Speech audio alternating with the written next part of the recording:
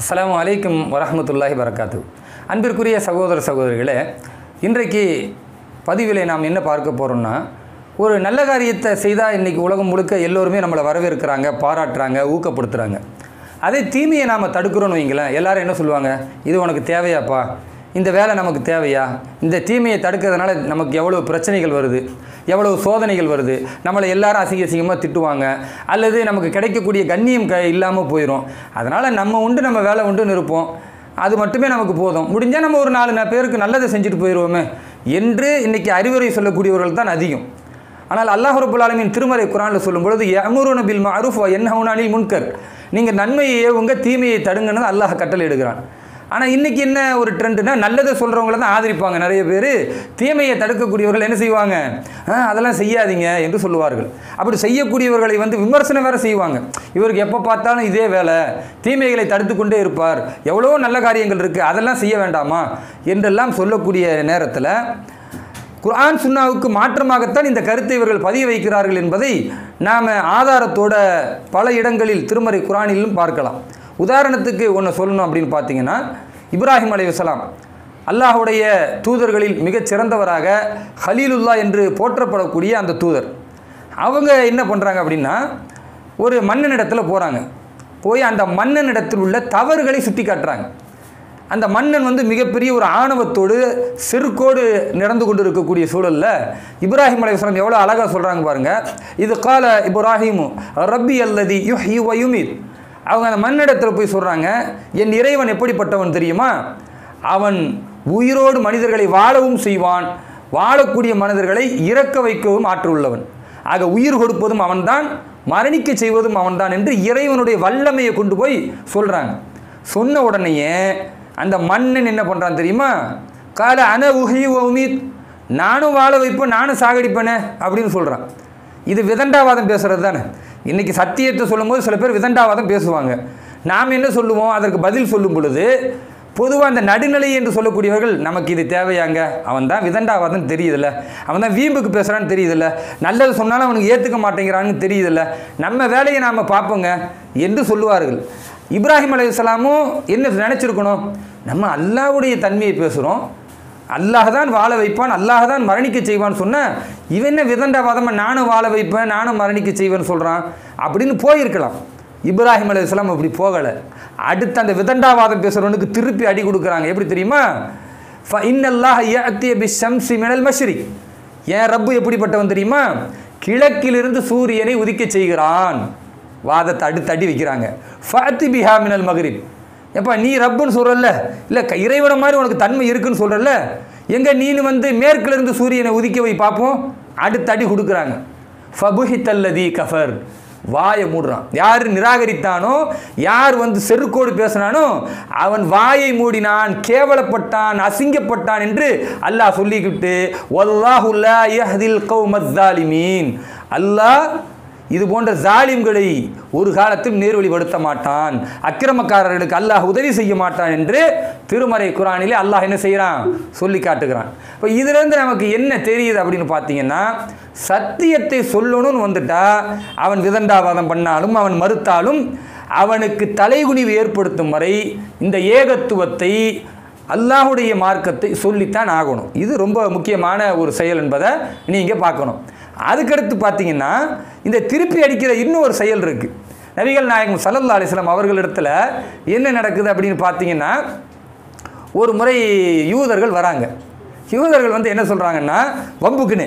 அதாவது ரசூல் சல்லல்லா அலிஸ்லத்தை வந்து கடுப்பேற்றதுக்காகவே என்ன செய்கிறாங்க அப்படின்னா வந்து சலாம் சொல்லணும். அஸ்லாம் அலைக்கும் யார் சூழல்னு பொதுவாக எல்லாரும் சொல்லுவாங்க. அது மாதிரி யூதர்களும் சொல்லணுமா இல்லையா? அவங்க வந்து என்ன வெறித்தனமாக செய்கிறாங்கன்னா அஸ்லாம் அலைக்கும் யார் சொல்லலா அப்படின்னு சொல்கிறாங்க அஸ்லாம் அலைக்கும் யார் சொல்லலன்னா அல்லாஹுடைய தூதரே உங்கள் மீது சாந்தி உண்டாகட்டும் அர்த்தம். ஆனால் அவங்க என்ன சொல்கிறாங்கன்னா அஸ்ஸாம் அலைக்கும் யார சொல்லலா? உங்களுக்கு மரணம் உண்டாகட்டும் அப்படின்னு சொல்கிறாங்க அதை வேகமாக சொல்கிறாங்க கண்டுக்காமல் இருக்கணுன்றதுக்காக அஸ்ஸாம் அலைக்கும் யார சொல்லலான்னு. இதை வந்து வீட்டில் இருக்கிற ஆயிஷா ரதி அவங்க கேட்டுடுறாங்க இவன் என்ன மரணத்தை வந்து கேட்குறான் அல்லாஹுடைய தூதருக்குன்னு கோபப்பட்டு தன் கணவனை பார்த்து அல்லாஹுடைய தூதர் சல்லல்லா அலிசலத்தை பார்த்து மரணத்தை வேண்டுகிறான். என்று கோபமுற்று உடனே அடுத்த பதிலடி கொடுக்குறாங்க. வாழைக்கும் சாமு ஒல்லன அப்படின்றாங்க. எப்படி? உனக்கும் மரணம் உண்டாகட்டும். உனக்கும் வந்து அல்லாஹுடைய லானத்து உண்டாகட்டும் நாசம் உண்டாகட்டும்னு கோபத்தில் சொல்கிறாங்க சொன்ன உடனேயே ரசூல் சல்லாம் சொல்கிறாங்க ஐஷாவே ஏன் கோவப்படுறீங்க? அப்படின்றாங்க. இன்னைக்கு சொல்லுவோம்ல அடி அடித்தார்கள் என்றால் அந்த அடிக்கு பதிலடி கொடுத்தோன்னு கொடுத்தோம் வைங்க கருத்தியலாம் கருத்துக்கு கருத்தில் பதில் கொடுக்கணும்ல கொடுத்தா ஏன் இப்படி பேசுகிறீங்க ஏன் இப்படி கோவப்படுறீங்க? இது நமக்கு தேவையா? என்றெல்லாம் சொல்கிறாங்கல்ல ஆனால் அல்லாஹுடைய தூதர் எவ்வளோ அழகாக சொல்கிறாங்க பாருங்க. இவங்க பதில் அடிச்சிட்டாங்க. வாலைக்கும் சாமுவல்லானு உனக்கும் அந்த நாசம் உண்டாகட்டும். கூடுதலாக அல்லாஹ் உனக்கு அந்த மரணமும் உண்டாகட்டும் சொல்லிட்டாங்க. ஆனால் ரசூல் சல்லாஹன் ஆயிஷா அலி சொல்கிறாங்க ஆயிஷாவே ஏன் கோவப்படுறீங்க? அப்படின்றதுமே அல்லாஹுடைய தூதர் இவன் என்ன சொன்னான் பார்த்தீங்களா இவங்க? உங்களுக்கு என்ன சொல்லியிருக்காங்க நீங்கள் கேட்கலையா? அப்படின்னு கேட்டதுமே ரசூல் சல்லான் சொல்கிறாங்க நான் கேட்டேன். நான் பதில் அடிச்சிட்டேன் நீங்கள் கவனிச்சிங்களான்றாங்க. அவங்க என்ன சொல்கிறாங்க நான் பதில் கொடுக்காம இருந்தேனா? நான் தான் பதில் அடி கொடுத்துட்டேனேன்றாங்க. ஆயிஷா இல்லை பார்க்குறாங்க என்ன கொடுத்தீங்க? அப்படின்னதுமே எவ்வளவு நளினமாக கொடுக்குறோமோ அதை தான் நான் சொல்லிட்டேனே. வாழைக்கும் சொன்னேனே. நான் வாழைக்கும் சலாம் சொல்லலை. அவன் மரணத்தை வேண்டும்னு எனக்கு கேட்டபோது நான் வாழைக்கும் சலாம் உங்களுக்கு சாந்தி உண்டாக்கட்டும்னு சொல்லலை. வாழைக்கும் அதோட நிப்பாட்டினேன். உனக்கு அதுதான். நீ என்ன கேட்டியா அது உனக்கு தான்ப்பா என்று பதிலடி கொடுத்தனா இல்லையா? அவன் அடிக்கிறது கூட ரொம்ப நளினமா ஹிக்மத்தாக சொல்லணும். அவன் சொன்னதுக்கு பதிலடி கொடுப்போம். எக்ஸ்ட்ரா நாள் வேண்டாம். ஐசார் அலில்லானுக்கு என்ன சொல்கிறாங்கன்னா அவன் என்ன சொன்னானோ அதுதான்டா உனக்கு அப்படின்னு பதிலடி கொடுத்தாங்களே தவிர ஆயிஷா ரதியில் எக்ஸ்ட்ரா ஒன்று சேர்த்தாங்களே. ஒல்ல உனக்கு நாசம் உண்டாகட்டும்னு. அதை வேணான்னு அல்லாஹ்வுடைய தூதர் சல்லல்லா சொல்லி ரொம்ப நளினமாக திருப்பி அடிக்கணும் என்ற பக்குவத்தை சொல்லித் தராங்க.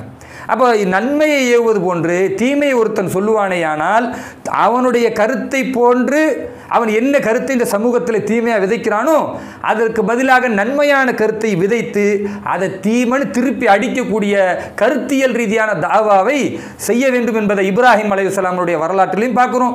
நபிசல்லா அலிஸ்லாம் அவருடைய அந்த பொன்மொழிகளையும் பார்க்குறோம். இன்னி நம்ம சமூகத்தில் கூட ஒரு சில கதைகள் கூட சொல்லுவாங்க. அதில் ஒரு உதாரணத்துக்கு ஒன்று சொல்லணும் அப்படின்னா ஒரு மனிதர் என்ன செய்கிறாரு அந்த ஊரில் வியாபாரம் செய்யும் பொழுது இந்த ஏழைப்பாளைய மக்கள் இருப்பாங்கள்ல அவங்க வியாபாரம் செய்கிறாங்கன்னா அவங்களுக்கு பணத்தை கொடுக்குறேன்னு சொல்லி அதிகமான வட்டிகளை கொடுத்து பணத்தை சுரண்டுறது. இந்த வேலையை செஞ்சு அவங்களுடைய நிலங்களை அவங்களுடைய பொருளாதாரத்தை அவங்களுடைய நகைகளை எல்லாத்தையும் கொள்ளையடிக்கிறான். இன்றைக்கி உள்ள ஒரு சேட்டு மாதிரின்னு வச்சுக்கோங்களேன். அப்போ இது ஒரு மனிதர் பார்க்குறாரு என்னடா அது இப்படி பண்ணுறான்னு இவனுக்கு சரியான பதிலடி கொடுக்கணும். எப்படி கொடுக்குறது? அப்படின்னு யோசிக்கிறார். யோசிச்சுட்டு அந்த சேட்டுக்கிட்ட நம்ம அப்படி சொன்னால் தான் நம்ம பாசையில் புரியும். அந்த சேட்டுக்கிட்ட போய் இந்த மாதிரி நான் ஒரு குதிரை வளர்க்குறேன். என் குதிரையை பார்த்தீங்கன்னா தெரியும். அரபு நாட்டு குதிரை நல்ல பலம் வாய்ந்த குதிரை ஏறக்குறைய ஒரு அஞ்சு லட்ச ரூபா பெறும். அந்த குதிரையை விற்கும் பொழுது அந்த மொத்த காசை உங்களுக்கு கொடுத்துட்றேன் நான். எனக்கு இப்போதைக்கு எனக்கு ஒரு ரெண்டு லட்ச ரூபா கடன் வேண்டும். அப்படின்னதுமே அவன் என்ன செய்கிறான் ஒரு மூணு மாதத்துக்குள்ளார நீ என்ன செய்யணும்? கொடுத்துடணும். கொடுக்கலன்னா அந்த மொத்த மொத்த குதிரை விற்றா எவ்வளோ காசு வருமோ? எல்லாத்தையும் நானே எடுத்துக்குவோம் சம்மதமானு படிப்பினை சொல்லி தரணும்ல? அப்போ திருப்பி அடிக்கிறதுக்காக சரி நான் ஒத்துக்கிறேன். அஞ்சு லட்ச ரூபா குதிரையை மூணு மாதத்துக்குள்ளே நான் வாங்கின ரெண்டு லட்ச ரூபா உன்ட்ட திருப்பி கொடுக்கலன்னா நீ எடுத்துக்கோ. குதிரையை நான் விற்று தரேன். அந்த மொத்த காசை நீ எடுத்துக்கோன்னு ஒப்பந்தம் போட்டாச்சு. மூணு மாதம் வெயிட் பண்ணுறாங்க குதிரை விற்கலை இவரும் காசு திருப்பி கொடுக்கல. இப்போ வந்துட்டான் சேட்டு. வந்து எங்கே காசுங்க காசு இல்லைன்னா குதிரை கொடு. சரி பரவாயில்ல. நம்ம உனக்கு குதிரை தானே வேணும்? குத குதிரையை விற்று கொடுக்குறேன். என் கூடையே வான்னு சொல்லி குதிரையை கூட்டிகிட்டு போகும்போது ஒரு குட்டி பூனை ஒன்று இருந்துச்சு. அதையும் பூனையும் கையில் தூக்கிக்கிட்டே போகிறாப்புல போய் சந்தையில் விற்கக்கூடிய நேரத்தில் குதிரையும் நிற்க வச்சு எல்லாரும் பார்க்குறாங்க ஆ சரியான குதிரையாக இருக்கு. அருமையான வெள்ளை குதிரை அப்படின்னதுமே எவ்வளோனதுமே ரெண்டு லட்சம் மூணு லட்சம்னு போய் அஞ்சு லட்சத்துக்கு வந்துடுது இப்போ அந்த சேட்டு இருக்கான்ல அவனுக்கு ரொம்ப சந்தோஷம். அப்பா கொடுத்தது ரெண்டு லட்சம் மூணே மாதத்தில் அஞ்சு லட்சத்தை நம்ம சம்பாதிக்க போகிறோம் இப்போ அந்த அஞ்சு லட்சம் வரைக்கும் போகுதுல்ல? அந்த ரேட்டுக்கு போகக்கூடிய நேரத்தில் ஒருத்தன் வந்து கேட்குறான் எனக்கு கொடுன்னு. அப்போ அவர் என்ன நம்ம சொல்கிறாரு குதிரை வந்து நூறுரூவா தான். குதிரைக்கு விலை எவ்வளோ? நூறுரூவா தான் குதிரை விலை. இந்த குட்டி பூனை வச்சுருக்கணும்ல இந்த குட்டி பூனை அஞ்சு லட்ச ரூபா. அஞ்சு லட்சத்தி நூறுரூவா கொடுத்தா உனக்கு என்ன செய்வேன்? குதிரையை தருவேன். அப்படின்றதுமே அவன் என்ன பார்க்குறான்? பூனைக்கு அஞ்சு லட்சம் குதிரைக்கு நூறுரூவா என்ன இவன் பைத்தியக்காரனாக இருக்கான்? நமக்கு தேவை என்ன? குதிரை தான் தேவை. இந்த பூனையை வாங்கி தூக்கி எறிஞ்சிட்டு என்ன செய்வோம்? குதிரையை ஓட்டிக்கிட்டு போயிடுவோம் என்ன நூறுரூவா எக்ஸ்ட்ரா போகுது? நம்ம வந்து பூனைக்கு நூறு குதிரைக்கு அஞ்சு லட்சம்னாலும் வாங்க போகிறோம் அல்லது குதிரைக்கு வந்து நூறுரூவா பூனைக்கு அஞ்சு லட்சம்னாலும் வாங்க போகிறோம் நமக்கு தேவை குதிரை. அதனால் அவன் என்ன முடிவு பண்ணுறான்னா சரி இந்தாப்பா அஞ்சு லட்சத்தி நூறு. பூனையும் கொடு குதிரையும் கொடுனதுமே அஞ்சு லட்சத்தி நூறை கொடு வாங்கிக்கிட்டு என்ன செய்கிறாப்புல அனுப்பி விட்டுறாங்க. இப்போ சேட்டு வந்ததுமே இந்தாப்பா உன் காசு நூறுரூவா பிடி அப்படின்னதுமே என்ன நூறுரூவாவா நான் ரெண்டு லட்ச ரூபா கொடுத்துருக்குறேன் குதிரை வச்சா அஞ்சு லட்ச ரூபா கொடுன்னு. அப்போ தான் அவன் பதில் சொல்கிறாப்புல உனக்கும் எனக்கும் என்ன ஒப்பந்தம்? குதிரை எவ்வளோக்கு விற்கிறனோ அந்த காசு உனக்கு. நான் பூனை விற்றது அஞ்சு லட்ச ரூபாக்கு. குதிரை நூறுரூவாக்கு தான் விற்ற சரியா? நூறுரூவா குதிரை விற்ற காசு நீ பிடி பூனை விற்ற காசு அஞ்சு லட்ச ரூபா எனக்குன்னதுமே ஆ அது முடியாது நீ என்னை ஏமாத்துற. அப்போ தான் திருப்பி அடித்தாங்க நீ எவ்வளோ பேரை ஏமாத்திருக்கிற? அற்பமான பணத்தை கொடுத்து அந்த மக்களை ஏழ்மை நிலையை பயன்படுத்தி நீ எப்படிலாம் ஏமாத்துறியும் அதே மாதிரி திருப்பி உனக்கு அடிப்பதற்காகத்தான் இந்த காரியத்தை செஞ்சோம். இன்னைக்கு நீ படுற என்று சொல்லி அந்த யார் ஏமாற்றினானோ அவனுக்கு ஏமாற்றாம சொன்ன வாக்கை நீ நீதி செலுத்துகிற விதமாகவும் அதே நேரத்தில் சம்பந்தப்பட்டவனுக்கு அது புரியணும் என்பதை சுட்டிக்காட்டும் விதமாகவும் இந்த காரியத்தை ஒருத்தர் செஞ்சார் என்பதை ஒரு கதைகளில் சொல்லுவாங்க. இதை எதுக்கு சொல்கிறோம்னா அப்போ நன்மையை ஏவுவதும் தீமையை தடுப்பதும் ஒரே நேரத்தில் செய்யணும். தீமையை ஒருத்தர் செய்யக்கூடியவர்கள் அவர்கள் பெருங்கூட்டமாக இருந்தாலும் சிறு கூட்டமாக இருந்தாலும் அதிகார வர்க்கமாக இருந்தாலும் ஆளும் வர்க்கமாக இருந்தாலும் மார்க்கத்தின் பெயராக இருந்தாலும் என்ன நிலையில் இருந்தாலும் தட்டி கேட்க வேண்டியது அவர்கள் மதிக்காவிட்டால் திருப்பி கருத்தியல் ரீதியாக அடிக்க வேண்டிய பொறுப்பும் கடமையுணர்வும் நமக்கு இருக்கிறது என்பதை இந்த பதிவின் மூலம் நாங்கள் உங்களுக்கு மத்தியில் எச் அச்சமூட்டி எச்சரிக்கை செய்தவர்களாக அல்லாஹுடைய மார்க்கத்தை தெளிவுபட சொல்லியிருக்கிறோம். சிந்தித்து செயல்படக்கூடிய நன்மக்களாக வல்ல ரஹ்மான் உங்களையும் என்னையும் ஆக்கியருள்வானாக.